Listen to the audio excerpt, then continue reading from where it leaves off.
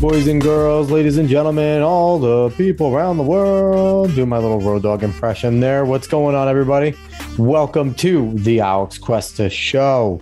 How is everybody doing on this Wednesday, April 27th of 2022? David, we did it. We're recording on a Wednesday again. We did it, Dave. We did it. It's a great thing. But before I introduce him, let everyone like, share, follow, subscribe, rate five stars on Spotify and iTunes. Spread this word of mouth and go find us on the socials, the Alex Cuesta Show. Go search it on the newly free speech Twitter, Facebook, Instagram, wherever you want to go and find those. David, I already said hi to you, but I'm going to say again, how are you, dude? Tired, pretty tired. Yeah, you Mainly working, working out and stuff. Kind of killed me for a bit, but I'll be all right for the rest of this recording. Yeah, you kind of look like shit. Yeah, well, Not great. normal. That's normal. it has nothing to do with being tired. so before we jumped into the topic at hand, because I am incorporating this into kind of like the daily-ish so schedule, I'm going to continue with the Biden COVID tracker because it's necessary. I think David agrees that this vegetable of a human being that is our president, Joe Biden, deserves to be held accountable for all the COVID numbers that happened on his watch because President Trump was held accountable. And now, obviously, no one has their big uh, tickers up and all that good jazz isn't going on. And we've had some pretty two days of semi significant bumps in the cases. So you would think that the trackers would go right back up because we need to be aware and we need to know. But let's just go over real quick. Uh, yesterday, we were at 80,967,566 cases. Over for deaths, we were at 991,169. Today, the 27th, we are at 81 million. We cracked it. We cracked the 81 million number. 43,315. That's an uptick of 75,749 cases. And then in deaths, we are at 991,609. That's up 440 deaths. So cases now for the second time in a row, we've been over 70K. Yesterday was 98,000. Today, 75,000. The deaths remain relatively low. Um, under a thousand yesterday, today clearly under 500. So again, I like to stress we want to hold him accountable because he was the man with the plan that failed, and he's failed miserably at everything in his presidency. But he's he's had no plan, and he needs to be held accountable. He needs to be reckoned with, and we are still sitting at an endemic, but calling it a pandemic. So, Dave, anything for you to say about these vid numbers, the way the cases are like semi spiking, they're still not at the level that we were seeing where they're like hundreds of thousands, 300,000 here and there, but it's creeping up more near the 100,000. We're getting a little bit of a bump here. Any any opinions on the endemic that is coronavirus? No, I don't care about it. I don't care for the sense that though. I just I'm going to do what the media and the journalists refuse to do and continue to hold this douchebag accountable. No, that's fair. I'm petty. I'm just a petty little child. But we're going to get to the topic at hand today. Yesterday on the Daily Show, I did my own little mock draft. It was fun. 20 of the sports writers, draft gurus, I took their mock drafts, their most recent ones, scatter charted them on an Excel sheet, did the averages for where they put all the guys. I had 53 guys that were qualified name wise, 33 were included in the actual um, mathematics of it all to make uh, rankings. And I got it done there. And it was a cool way to do a mock draft, going to test it up against what actually happens. But today, since me and David are tortured Jets fans, we are going to talk specifically about what we would like to see as Jets fans come out of the draft, specifically the first two picks, maybe. And we have, you know, what is the number? We have, oh, where am I? One, two, three, four, five picks in the first three rounds. So we are looking at a possibility for Joe Douglas to really set a solid foundation. If this team is going to be successful around Zach Wilson, having five picks in the first three rounds, whether he trades any of them or anything like that, but there's still a lot of capital there to, in order to make major improvements to the roster. Five key players that play a lot, that play big roles. can completely and totally change around a team. That's a huge chunk of the 22 guys com- between the offense and defense that is going to be making an impact. So we definitely want, we're going to talk about that. Now, I want to first go over the Jets are have the number four pick in the draft. Um, Dave, I don't think there is no chatter about them being expected to trade this. Obviously, Joe Douglas will listen to anything. If someone makes him an insane offer, he probably will take it. But there's no indication that they're looking to trade out of the four. Now, what have we seen throughout all Jets Twitter, Dave? We have seen anything but an offensive tackle, right? That's kind of like that's kind of been the standpoint. Uh, I think Jets fans want to see what Mekhi Becton can come back as. George Fant was absolutely fantastic last year. So we're ready to roll with Fant and Becton. Um, and, and if you know if Becton's terrible, we're going to take that chance. We're ready to roll with that. But so on my scatter chart, though, when it came down to it, the Jets at four were projected to take Evan Neal, offensive tackle from Alabama. Dave, how well would that go? No, it wouldn't go well. They come uh, up and they announce Evan Neal. It wouldn't go well. I mean, even just recently on Jets Twitter, I guess you can put it that way. Uh, one of Jets reporters, Connor Hughes, is talking about how four seems to be between um, uh, Ekwonu and uh, Jermaine Johnson, and that even Aqu- uh, it does not make people happy, and he's supposed to be extremely good, but uh, we just don't want an offensive lineman at four, and that's for multiple reasons. And it's interesting you mentioned Jermaine Johnson because we're going to harken back to my scatter chart a good amount when you talk about these people. According to the 20 mock drafts I looked through and put the rankings in, he's slated here to go 13th to the Texans. So potentially he's looking at a guy there. Now, what are they saying about? Are they thinking that Thibodeaux is going to be gone by the time they get to the four? Because if you're looking at the three teams ahead of the Jets, Jags, Lions, Texans, there's already three premier pass rushers there. And I don't think we expect the Texans to take a pass rusher because they have other needs to address. Um, there's Travon Walker from Georgia who's projected to be better than um, Jermaine Johnson. Would you be happy if they went with Johnson, or if it's the situation is Johnson, would you rather have him go with Sauce Gardner? Honestly, I, I I feel like at that point, a defensive pick is kind of fine with me either way. Uh, it is interesting seeing how, at least through all the noise, Thibs has really fallen because what's the number four pick being Jermaine Johnson is not based off of Thibs being gone. It's actually based off of both Hutch and uh, Walker being gone. Yep. I mean, Hutch is supposed to be gone either way, but and so Walker's gone. Walker. Walker yeah, but, in these yeah. in these uh, drafts I did, these little mock drafts. Sorry to cut you off, but no, it's fine. He had seven picks in these mock drafts as a number one ahead of Hutchinson. So something yeah. Walker did has made a lot of sports writers really like his game. Mm-hmm. Yeah, and, and that's the thing. It's just like it seems like if those two are gone, really, it seems like the Jets aren't as high on Thibs as some fans are, and they'd I'd rather go either Ekwonu or Jermaine Johnson. And like I mean, you asked about Sauce. I I'd be fine with Sauce. I feel like it would give us a, hopefully a damn good corner. You can't always say coming out of draft, no matter how high they are, but uh, it looks like a damn good corner and really adding not only another one or two on our cornerback uh, depth chart, but j- it's just more depth.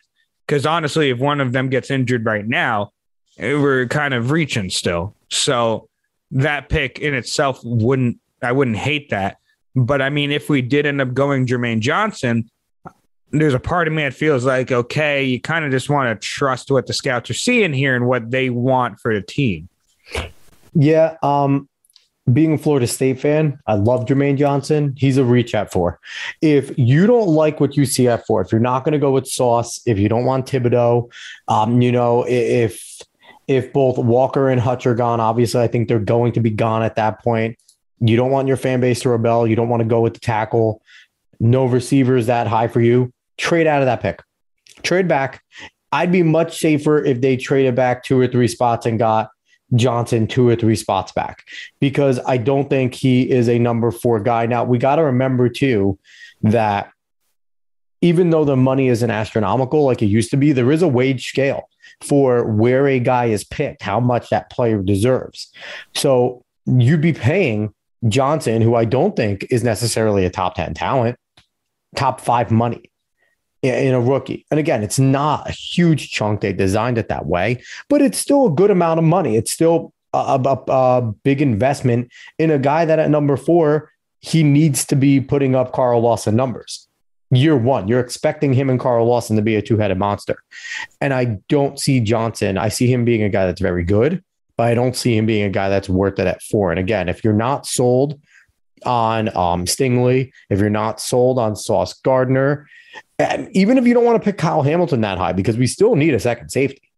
The Jets still need a second safety. And Kyle Hamilton's there, and he's arguably the most pro ready guy in the whole draft outside of Ekwonu. So I, don't know. I, I don't know if is going to be there because, again, arguably he's Quenton Nelson esque, is what they're projecting. So uh, it's a difficult spot. Four is tricky.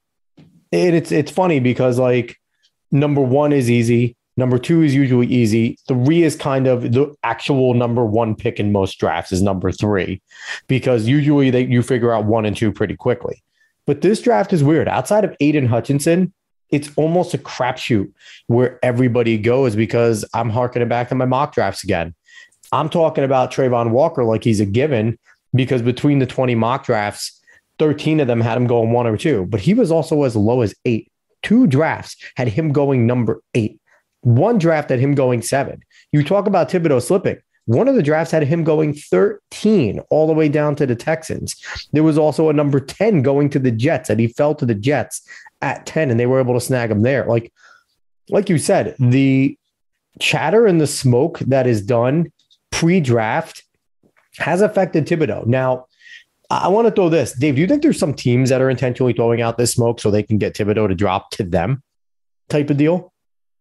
I feel like that really a, want him. I feel like that is a thing that happens. I don't know if that's specifically happening in this case, but I know that that is something that could definitely happen and it has happened in previous drafts. This case, I'm not certain, mainly because you have so many other good DNs, yeah, good pass rushers in this in this class. Mm-hmm but I, am not certain. I, I, don't know. This whole draft class is so up in the air. Honestly, I, I haven't really followed it as hard as I should because honestly, it's it's it's a lot more in depth than past ones. It certainly is, and like it's weird because if you look at it outside of Ekwonu and Hutchinson, there is no real, maybe Hamilton. I think Hamilton's going to be a surefire good player. You don't really know. And there's a lot of guys that are kind of equal in terms of their value. So even when you get down to the Jets' 10th pick, according to my numbers here, my crunches, it's Derek Stingley Jr. going to the Jets, which is arguably the second best corner in the whole entire draft. And people have been, uh, Sauce Gardner has risen above him lately. But in the beginning, even as long, even as little as a month ago, it was Stingley Jr. was a guy. And there were talks about Stingley Jr. going forward to the Jets. And he's gotten pushed back and he's now closer to 10. But then again, uh, this has been a spot where I think everyone in Jets world is expecting a receiver. I think everybody in Jets world is expecting a receiver at 10 if the pick is still there, because there is a lot of talks of the Jets. You know, uh, they they apparently the report is they have a Godfather deal in order to try and get Deebo. Um, but interesting, Dave. I'm putting this to you because we're going to go by my scatter chart here, my little thing, and we're going to go off of that. According to this, the Seahawks take Garrett Wilson right before us. If something like that were to occur, if they go after a Garrett Wilson, if they go after a Drake London, uh, a Chris Olave, one of these big wide receivers, does that mean DK's pretty damn open and Joe Douglas is burning his phone up to try and get him out of Seattle? Because if you go with the number one guy like that, with all the stress that DK had last year of really not connecting with Wilson, uh, is that kind of spell red flags that you're going to try and explore if you're Joe Douglas? Hey, I don't know about that. I think that's more of just trying to get other good players on the Seahawks. Because honestly, right now the Seahawks are tumbling. They, they're not in a good spot. So they just need other good players. And if they feel like that's the best value they can get at that pick, that's probably what they're going to do. I'm not entirely sure what the Seahawks are thinking. I don't follow them enough, but honestly, they, they kind of need help everywhere with what's happening in that organization right now. I mean, they're they're so good at safety. and I'm the man formerly in green at number 33. Thanks for the great spot. Anyway, um, number 10, Dave, who do you want to see there? Uh, obviously, Derek Stingley seemed like he's going to be there. Garrett Wilson might still be there. I expect him to be gone earlier. I expect him to possibly go Falcons or Seahawks because I think Garrett Wilson has moved his head and shoulders above everybody else at wide receiver.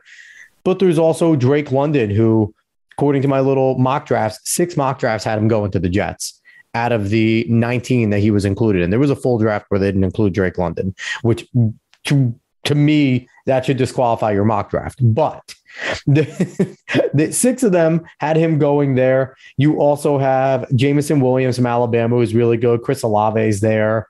Um, that's just a wide receiver group. What are you looking for in the number 10 slot from the Jets?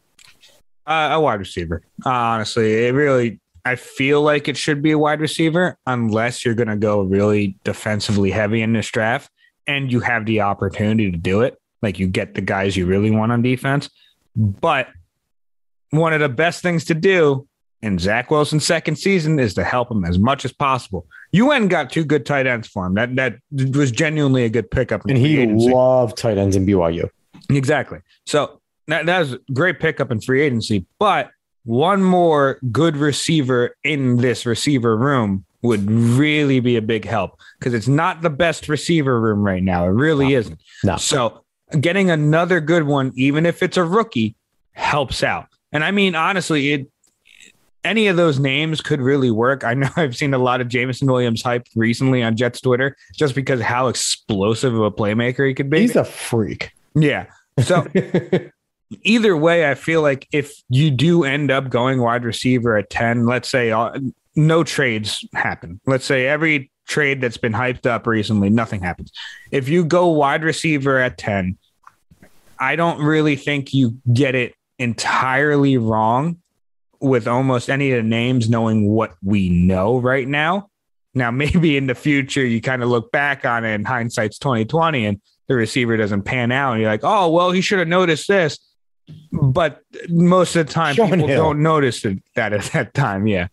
so that that's the thing. I, I just feel a receiver at 10, whatever they see as the best for this fit right now, I'm hoping that they get it right. Yeah. And, you know, I trust Joe Douglas. When he had the full draft last year, it was very good. He had a very good full draft when he was kind of thrown in his lap. I don't count his first quote unquote draft because he was quite literally brought in a week before the draft. And he had no idea any of the scouting guys. Like they were, that was a mess for him. But his full draft was very good. I'm expecting another good draft coming out of him. Now, I'm going to pose this to you Do you prefer the Jets drafting a young wide receiver, or would you prefer number 10 being sent for Deebo or DK Metcalf? I would. I, mean, honestly, I wouldn't even talk about DK anymore. I don't think DK is even in play right now. But the only one I would think is in play is Deebo. Honestly. What about AJ Brown? There's no. I know they said they want to lock him up, but they haven't locked no, him up yet. That's not going to happen either. I mean, I guess with every possibility in the future. Yeah. yeah. So uh, but, I'll put it to you this way: What's your preference? Trade for a known commodity wide, wide receiver, or draft one of these young explosive kids where it looks like there's four guys at least that are going to be impact wide receivers. So to use the ten, I'm fine with getting a veteran wide receiver that put up very the historic numbers, like damn good numbers, career numbers. Yeah, I'm fine with using the ten for that because even with these playmaking wide receivers at 10, like I said, things could not pan out. And then your wide receiver room is bunk again. You get a veteran, things are most likely going to pan out with the veteran. Usually there's not that much of a fall off, even if there is a fall off. Yeah. So that's the thing is it's like if you can move the 10 for Deebo, then move the 10 for Deebo. And I'm certain that's what they're thinking. Yep. But I have no idea what's going on with those, those negotiations. So I just plan on not happening, honestly. But if that's the thing you could do, you do it. You go get the proven commodity. It's honestly better in the uh, in the uh, the long run. And you already have a young, very good wide receiver in Elijah Moore. It's not like you need the future wide receiver. It'd be awesome to have two of them, but Elijah Moore, damn, damn well seems like he could be a number one. Certainly does. And, you know, and you have to think in fairly recent memory, the Jets have had a lot of success either bringing in free agent veteran wide receivers or trading for them between Eric Decker and Brandon Marshall or the most recent, where they were 2,000 yard wide receivers in the same season. We haven't had that in a ridiculous amount of time before that. Then even before him, Plaxico Burress was very good in the red zone, had over 10 touchdowns in the red zone for the Jets when he came on after shooting himself in the foot, quite literally. Um, then even before that, Braylon Edwards and Santonio Holmes were both guys brought in. So the Jets have had a lot of success bringing in wide receivers. And like you said, with the potential drop off, Braylon Edwards, there was no drop off. He came from the Browns and he excelled with the Jets. Santonio Holmes, before the Liz Lisfranc injury, was definitely better with the Steelers, but was still good with the Jets. Um, I think Decker and Decker and Marshall are both very good. They love Fitzpatrick. So I think there is a good track record there for bringing in the veterans and having a huge impact right away. So I don't know. I, would probably prefer the trade. If you can get Deebo, you get Deebo. If you get Deebo Samuel, you go get him. He was outside of Cordarrelle Patterson, the most explosive uh, skills player out there. I, th- I thought Cordarrelle Patterson, I'm not going to say was better than Deebo because Deebo is more talented, but Cordarrelle Patterson meant more to the Falcons in terms of staying competitive because Deebo at least had some talent. I get it. There was a ton of injuries on the Niners. He was asked to do everything. But Cordarrelle Patterson, that was the starting unit that he was with, and he still had to do everything. So it was kind of like, but they're similar players, just Deebo's a better version of him. But I just want Jets to pump their brakes. I don't think Deebo wants to do any of that shit in New York. If he comes to New York, I think he wants to run routes and catch footballs. I don't think he wants to be the running back. I don't think he wants to do all this shit that he had to do in San Francisco because that was out of necessity. Yeah, that's the main thing that that tells me that he m- might not be coming at all. Mm-hmm. Is the fact of the matter is that it, it's been reported that it's not a money issue in San Francisco; it's a use issue. He doesn't want to be used in that certain way, and it's the same kind of the system that we have over here. Now the question is if we were to pick him up, would we use him primarily as a wide receiver and use Elijah Moore more in those more in those running plays? Because Moore can do that as well, not as yeah. well as Deebo, but he can still do it. So, I mean, there are ways that you could probably say, "Hey, Deebo, we're not going to do that to you." I mean, maybe once or twice, but like not that much maybe you could do that. I have no idea. But if you already are leaving a system that you don't want to be in, most of the time you won't want to go to a system that is very similar to it. I don't think he would mind being a gadget, considering that, like you said, Elijah Moore could do it as well. Braxton Berrios is very good at doing it. So it wouldn't only be on him. I think his issue was there was no surprise in San Francisco anymore. He would line up as an H-back. It wasn't like he was always going in a motion. Like he doesn't want to just be the only weapon. I think on the Jets, he knows he wouldn't be the only weapon. For San Francisco, for a time, it was only Deebo. There was no one else that was threatening it. Kittle, Kittle was hobbling towards the end of the season. He was toughing it out, but he was hobbling. And the running back room was decimated. So I just think Deebo just does not want to be the only guy that they know is going to get the football. So it'll be interesting. I would like to see him there. But out of the young wide receivers, Drake London really intrigues me out of USC. I know, like you said, there was a lot of noise coming from Jameson Williams from Alabama, and it's tough to deny Alabama wide receivers after the last crop that we've seen between, uh, you know, Amari Cooper, CeeDee Lamb, all of these guys that have just been unbelievably explosive. But I don't know. I like the LSU kid. I think Drake London can do kind of Corey Davis better than Corey Davis, and we have Elijah Moore who can blow the top off of it. So it'll be fun and interesting. So that's kind of our first round. Um, so here's the deal. I saw a few drafts that had the Jets trading back in later. Do you think the Jets use some of their second round capital, maybe their first, their their 35 and 38 that they have there to get back into the first round and grab somebody late? Because there's a lot of value in this draft in the first they round. could they could do that if they actually do love someone. I did want to make a minor correction. Drake is from USC. You said LSU. Um, oh, did I? You, I'm looking at it too. USC. No, you Sorry. you might have been looking at Derek Stingley. That's the thing. Probably so, they're, they're like two spots away from each other. Thank you. Yeah. No, no, no issue. Uh, but yeah, I, they could definitely do that. I don't know if they're going to do that because they do like their second round picks. Uh, so we'll see. We'll see how that works out. I don't know. It gets tough when it gets to that point, and especially with trades. Because uh, I mean, Joe Douglas did move up for AVT, and I, th- I thought it was a great move because yeah. AVT is a fantastic guard, at least rookie season.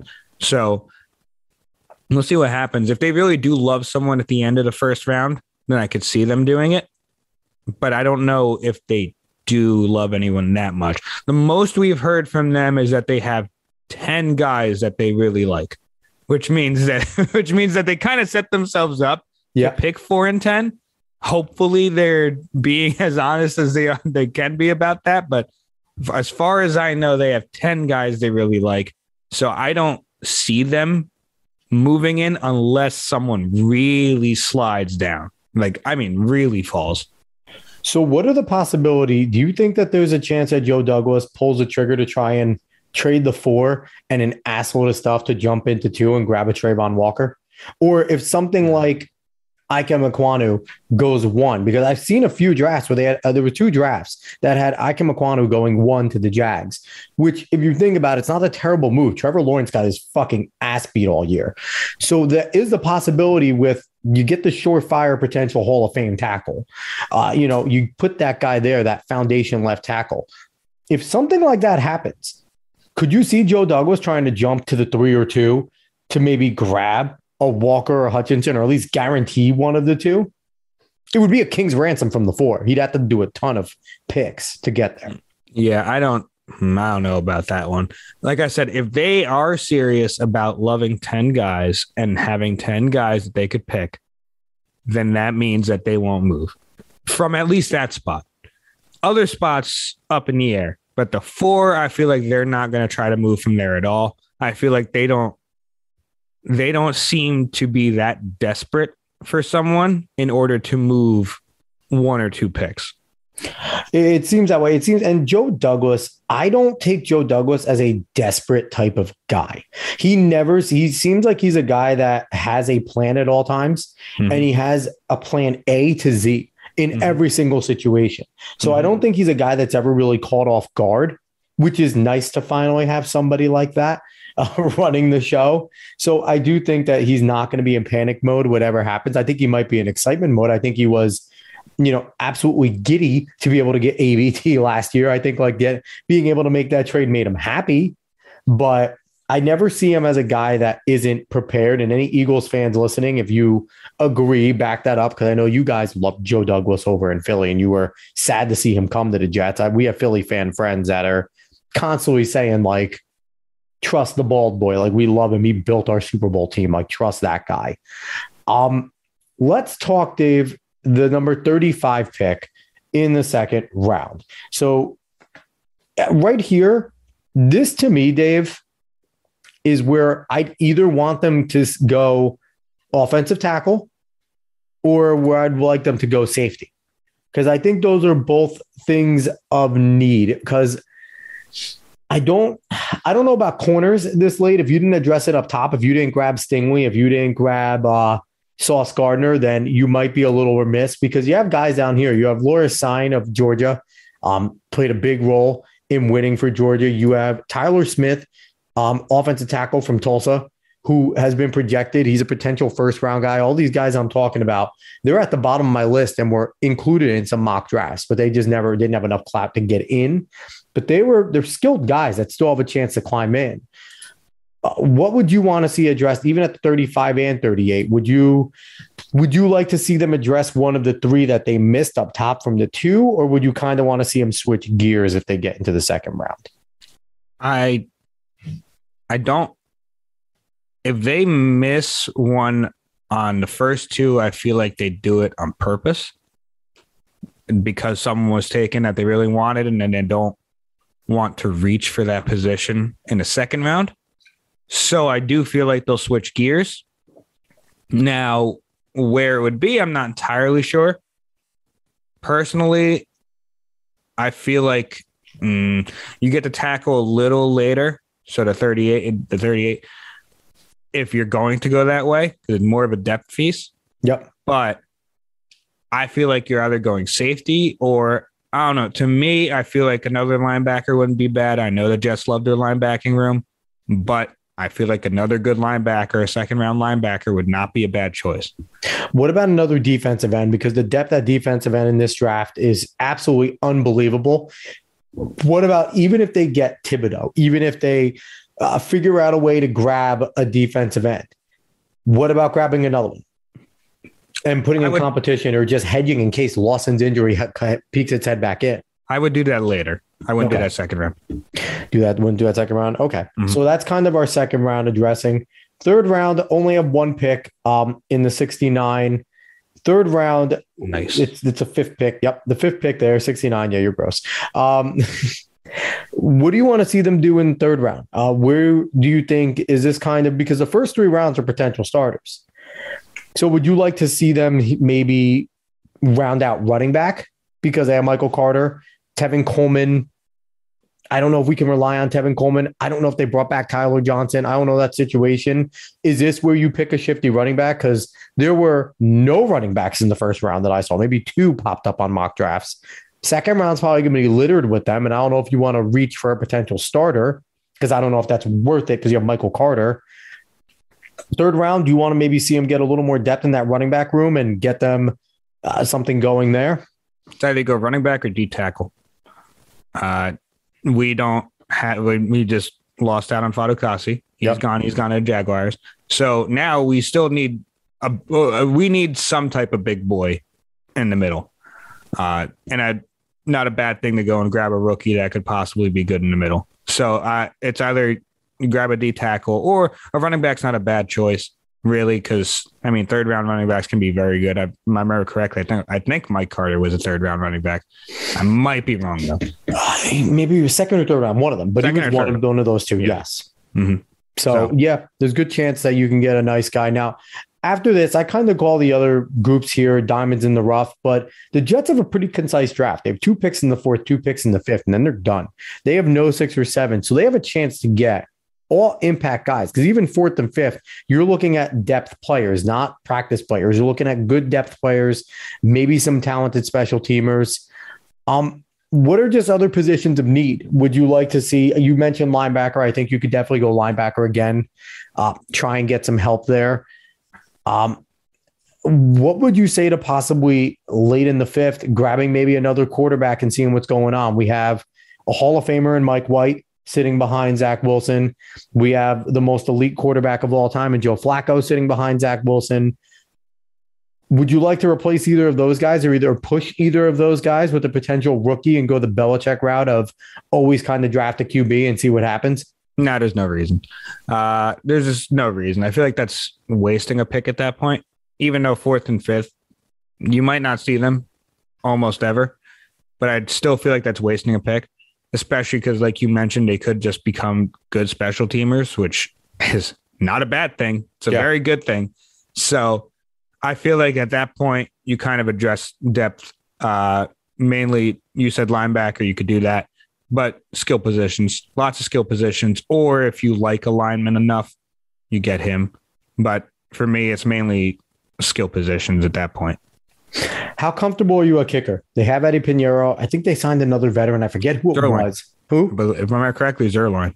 Zuerlein. They signed Greg Zuerlein. How comfortable are you a kicker? Piñeiro was a was just a good kicker last year. He wasn't terrible. He did his job when he came in, righted the ship. Um, Zuerlein has definitely lost some. That's why he was cut. So we don't know.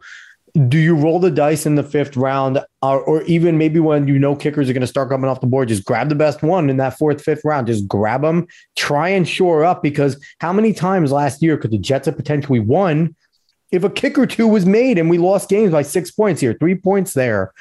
Uh, kickers really make a difference still in the NFL. A good kicker makes a huge difference. Do you think that there is a chance that if they get what they need in the first three rounds, they're looking at the fourth round going, let's get the best kicker, fifth round or whatever. Let's get because they don't have a six, seven. Or do they kind of trade one of these picks, get a bunch of picks late, and then because I think they got to bring someone in. They got to bring a rookie in to challenge these two guys and maybe g- shore up that kicking room. It I don't shore it up. I don't feel like our roster is great enough in order to go and pick up a rookie kicker, especially when you have two on the roster right now. You have Eddie Piñeiro, who did just just fine rounding out the year, and you brought in a veteran to make it a kicking competition. Listen, we've had kicking woes. We might continue. I don't know. We'll see how Piñeiro does because right now he's a starter for me. He's the one that we ended with last year. He did fine last year, at least end it. So if the, the roster is not that good, it really isn't that good. So why would you even waste a pick on a kicker unless it's seventh round? Unless it's for me, late. it's because that's less pressure on Zach Wilson. Because that's less pressure on Zach Wilson to try and finish every single drive with the touchdown. Because he knows that okay, this one stalled. Let's go get the automatic three and get it'll, back to it. It'll be less win a game late. It'll be less pressure on Zach Wilson getting him offensive weapons than it is to get a kicker, a rookie kicker. it's that simple. It's, that's not even a question. I've it noticed really the is. value of kicker. If we had a single kicker, year. if we had one kicker who wasn't, who is only slightly above average, then I get it. We have two kickers on the roster. If you put a draft pick on a kicker with the roster that we have, there is no damn reason for that. That alone is a detriment on your draft. Hey, listen, we could get Mike Nugent again and him be terrible. Uh, all right. So ultimately, Dave, are you thinking that I'm thinking that this draft can have a huge impact? And at, with the number of picks that they have, it's all first five rounds, um, five picks within the first three rounds. If Joe Douglas hits on this draft, this could be massive for the Jets. We've seen Bill Parcells when he came in had a few huge drafts, changed the whole thing around. Um, then you had later years between D'Brickashaw Ferguson and Nick Mangold coming in in a few drafts amongst each other, changed the whole culture. I feel like this could be not only a talent changing, but a culture change in the roster where you have and you have guys like CJ Mosley who's already all about that and is going to ingrain this type of stuff. You have a no nonsense guy like Carl Lawson who's going to ingrain this type of shit in people's heads where be here, work hard. And uh, is this make or break for you right here if we're going to be set back another 10, 15 years if this, this draft fucking sucks? I want to say 10, 15 years, but this is a prove it year for Joe Douglas and Robert Saleh. And especially, especially uh, if he picks up a tackle at four that to me, I've told you this before, but that to me signals that you, one of your first big draft picks was a miss. Because honestly, I don't think you're getting rid of Fant. I really don't with the way he played last year. And so that tells me that you don't believe in Mekhi Becton. And listen, if it really is that way and you make that choice and it works out, that's okay. But that's not a good start. it's not a good start to the draft that that's what you're signaling. So that's why that's also partially why I hope it's not a four, uh, not a tackle at four, no matter how good he is, because our offensive line should be fine. It should be okay. We we've got the guys that we should want. So if we were to do that, it's signaling something that's not right there. And so that's why it's it's really a prove it year for JD. You really need to make sure this draft does well because we don't want to see another QB fumble around and us feel like we ruined his career. We don't want to see this team win only three, four games again. It's just not something that we want to see. We want to see very good competitive play, not incredible competitive play. It doesn't have to be amazing, but we want to see some damn good play. And we really do want to see a wild card berth, honestly, especially when now it's extended. Now, now it's extended. You, there's more teams getting into the playoffs. So we really do want to see a wild card berth, at least fighting for it. We yeah. don't want to come out of first month of football saying, "Oh well, there's next year." Yeah, if they do go tackle at four, it has to be if Ekwonu is there. It has to be Ekwonu. I wouldn't be happy with you. At least Ekwonu, mm-hmm. you could say, "Listen, we don't believe in Mekhi, but Mekhi, he's hurt. We're going to get rid of him, but we have this guy." Mekhi was never meant to be generational. This guy is sorry, Jesus Christmas. This guy is as surefire as uh, you're going to see. So there, I don't want Evan Neal. Evan Neal has question marks. You yeah. don't bring it. You don't get rid of Mekhi Becton for another guy with question marks. You roll with Mekhi and let him get better and see if he can figure it out. So that to me, again, I would agree to you unless it is Ekwonu. If it's Ekwonu, you can at least swallow that salt and live to fight another day and sit there and be like, mm, that hurts but at least Zach Wilson has a foundation bedrock And- guy. And then 10 has to be a good pick. 10 has to be a- well, honestly, you know- it, it makes me feel like if you're if you do tackle at four, you almost have to double down for offense. Uh, honestly, you almost have to double down and say, "Hey, we're going to go get a damn good wide receiver at ten, and then worry about like defense for the rest of the draft for the most part." Because uh, for me, like that's basically what you got to do. Because almost every other defensive player that you would probably want, other than Stingley, would be gone at that point. Yeah, yeah. Hamilton will surefire be gone. Sauce Gardner will be gone. All the ta- all the DNs will be gone. Yeah. Yeah. You kind of don't have a choice. You need to go wide receiver there.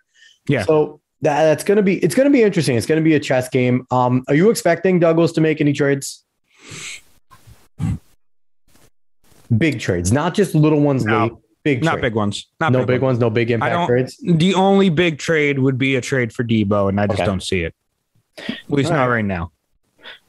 Last question before we close out. On a scale of one to confident, how confident that JD is going to have a great draft? I'm pretty confident. I'm pretty confident. It's the problem with yet again. The problem with this one is so up in the air. You have no entire no certainty on what the hell is going to happen. But I'm pretty confident that he's going to have a great draft because why not? I mean, it's it's better than being hopeless. It's it's because I don't have a reason to be hopeless for JD. It's not like he's completely screwed up the franchise or anything. So why not just be confident? He has made some damn good choices. The free agency hasn't been bad for us. So why not be okay with him going through this draft? Now, draft night, maybe I won't be so happy, but we'll see. I'm confident because you know the guy was director of scouting in Philly, built a Super Bowl team, and he definitely not only knew what he was looking at himself, but he certainly poached some guys or got guys in the vein of the people that he surrounded himself with in Philly. So he has to have a good scouting unit. And I loved watching one's Jets drive and t- seeing the head scouts talking and things like that. They know they're on the same page. You could see that the Jets franchise right now is on the same page. Joe Douglas is and Robert Saleh together are running a ship that has one direction, one goal, one sight. There's no competition between head coach and GM. And that's a great thing to start. You need that. Either the head coach is the GM, so there's no competition, or the head coach and GM work in sync. If they don't work in sync, then you have the Detroit Lions or what the Browns were for so many years, or what the Jets were for so many years with Idzik and Tannenbaum towards the end and things like that, and Maccagnan, where it's an ego versus the coach. And you don't want that. So I'm confident in the sense that he's making decisions based on not only his scouts, but on what the whole team, including Robert Saleh, wants. Mhm. It's not, I'm giving you the guy you work with it. It's Rob, what do we want to do together? Yeah. So let's pick guys that are going to work with your group. What does um LaFleur need? What does what does everybody need? What are we going to do? How do they fit into your system?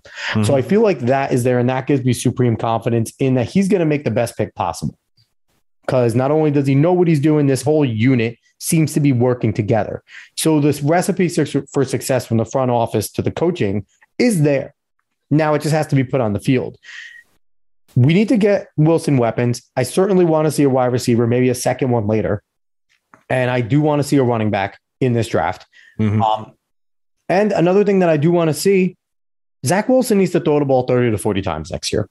If he's not throwing the ball each game 30 to 40 times, even on bad games, you never see elite quarterbacks. You don't see Joe Burrow having a bad game in his first 15 passes and finishing with 27. No, he has a bad game with 15 passes. He finishes with 53 because he works through it. And that's Justin Herbert. That's all the young guys. That's Allen. That is even Tua to an extent, threw the ball a good amount last year.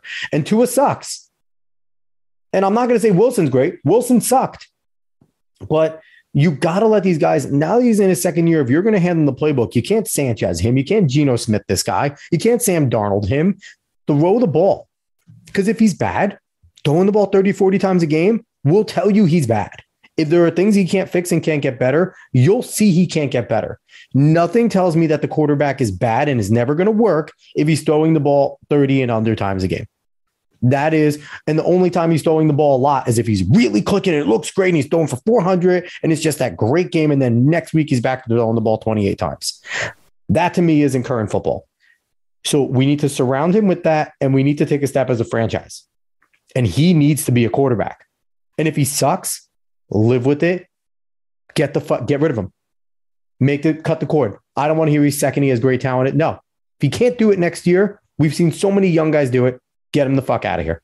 That's modern football. So the draft is important to build that foundation around them, but in the end, it's all Zach Wilson. Everything that we were doing offensively and defensively is to help Zach Wilson. Defensively is to get the offense off the opposing offense off the field and put the ball back in Zach Wilson's hands. Offensively is to help Zach Wilson be successful. This team lives or dies with the quarterback, like every other team, and JD needs to put a good team around him. And that's all I got to say about that, Dave. Anything else you got to add? No, not really, honestly. That was not bad. That was not bad. I've done much worse, and AKA that's everything else I say. All right, everybody. Thank you so much for listening to this uh, little Jets draft preview. If you're not a Jets fan, I hope you enjoyed it. And if you didn't enjoy it, your team sucks. So there's that. Um, I again, I always appreciate everybody for listening. As always, please, please, please like, share, follow, subscribe, rate five stars on Spotify and iTunes. Spread this word of mouth, and go follow us on the socials. Just go search the Alex Cuesta Show. It will show up. Hope everybody has a fun draft night. Be safe. Drink a lot I, I think you could bet on draft picks. So go ahead and do that. Be a degenerate. But whatever you do, like I said, be safe. If you're going to drink, you're going to have a party, stay the fuck home. Don't drive around. Don't get drunk and be that person that kills somebody or yourself because you decided to drive. And um, I hope everyone's team, besides the Buccaneers, because fuck Tom Brady and anyone else in the AFC East, has a great draft. And the Giants. Fuck the Giants, too. All right, everybody. Thank you so much for listening. Have a good one, y'all.